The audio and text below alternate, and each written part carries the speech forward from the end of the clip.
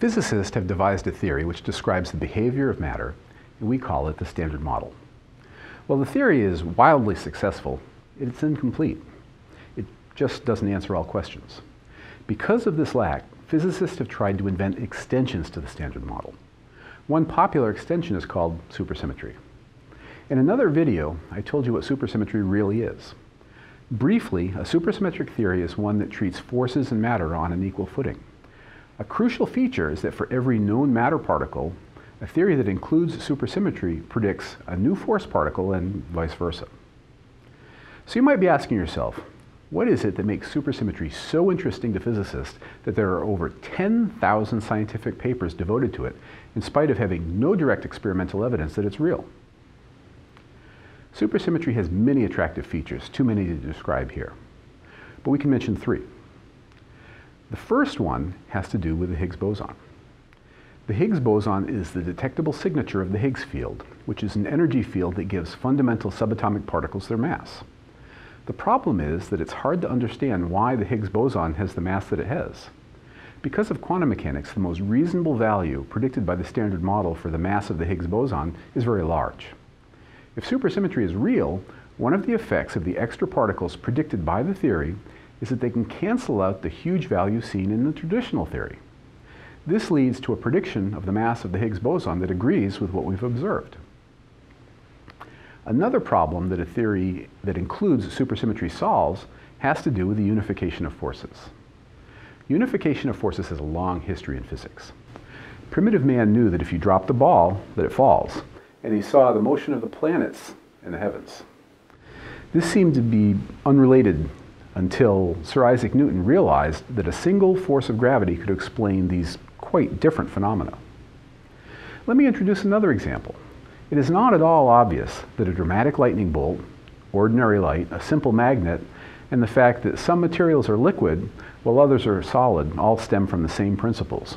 But Maxwell's equations, first worked out in the 1860s, show just that. These very different phenomena had a single explanation called electromagnetism. Similarly, scientists have reason to believe that the three forces that we understand at the subatomic level might be different aspects of a single unifying force. One reason that we believe this is that the strength of these three forces, electromagnetism and the strong and weak nuclear forces, vary as a function of the energy at which we study them. Using the standard model, we can predict how the strength of these forces change, and we find that at very high energy they become similar but the strength of the three forces don't become the same at a single energy. In contrast, when we do the same exercise using a theory that includes supersymmetry, we find that the three forces unify to a single strength at a single energy. There is no fundamental reason why the universe must unify the forces at a single energy, but it is rather elegant, and this is a reason that scientists find supersymmetry to be attractive. The final of our three reasons that physicists like supersymmetry comes not from the microworld, but rather from the cosmos. Astronomers have long known that galaxies spin faster than we can explain with the known laws of physics and the galaxy's observed mass. To save astronomy, scientists postulated a new kind of matter called dark matter that solved the problem. The difficulty is that we have never directly observed dark matter.